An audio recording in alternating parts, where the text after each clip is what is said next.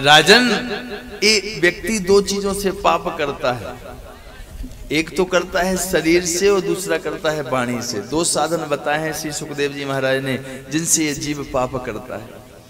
एक शरीर से और दूसरा वाणी से। और दो ही चीज़ों के लिए पाप करता है, ध्यान से सुनना। एक, लोभ और एक काम।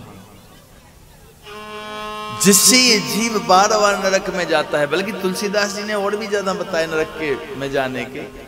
काम क्रोध मद लोभ सबनाथ नरक के।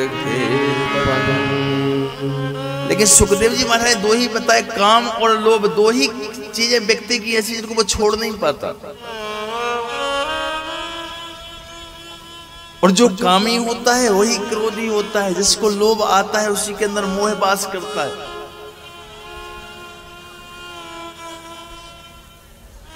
अगर तुम थोड़ा सा साध लो कि हम अपनी वाणी से और शरीर से किसी का बुरा नहीं करेंगे तो मैं व्यास मंच से इस विश्वास के साथ कहता हूँ, तुमसे कोई पाप नहीं होगा। केवल दो चीज़ों को आप एक अपने शरीर को और एक अपनी वाणी को दो को संभालिए आप। और पाप नहीं होगा तो दुनिया की कोई भी शक्ति तुम्हारा बुरा नहीं कर सकती। अगर तुम्हारे बुरे कर्म नहीं है और भगवान के तुम भरोसा रखते हो तो दुनिया का कोई भी तुम्हारा बुरा नहीं कर सकता। और यदि राजा पारीक्षित पाप हो गया, मानो बचपन से किया गलतियाँ हो गई, बहुत पाप हो गए, फिर भी ये चाहता है कि मैं दुर्गति को ना भोगूं, ना मेरी आने वाली पीढ़ी, ना मुझे इसका वो ना मिले। तो एक रास्ता बताया है, राजा परीक्षित पश्चाताप अपने किए हुए पाप का प्रयाश्चित करना ही कहते ना, सुबह का भूला, शाम को वापस आया तो उसको भूला नहीं कहते तुम कितने कामी, क्रोधी हो साहब। तनक तुलसीदास को देखिए कितने थे यहाँ इतना मोह था, इतना प्रेम था पत्नी से कि रहते नहीं थे। लेकिन जब ज्ञान हुआ तो वही तुलसी आज दुनिया गीत गा रहा है। एक समय होता है, एक अवसर होता है। अगर उस अवसर में तुम समझ गए तो ठीक है। थोड़ी ट्रेवल ट्रेवल कम। और नहीं समझ पाए। ये शास्त्र हमको संभाल ही रहे ये गुरुजन ये संतजन ये हमको क्या? एक मार्ग ये वेद पुराण हमको एक मार्ग बता रहे हैं। और ये अवसर कभी कभी मिलते हैं। समझ जाओ तो ठीक है और नहीं समझ पाए तो। गए। फिर चौरासी में भटकोगे कल बताया था। और यदि राजा परीक्षित पश्चाताप भी नहीं कर पाता है, सक्रन मना कृष्ण पदार बिंदयो निर्वेशितम तद गुण राग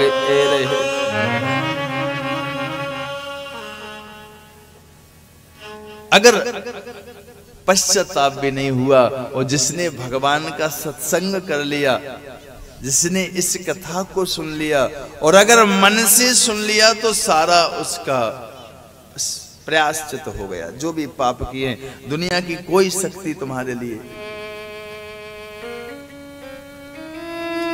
नरक में नहीं भेज सकती आप।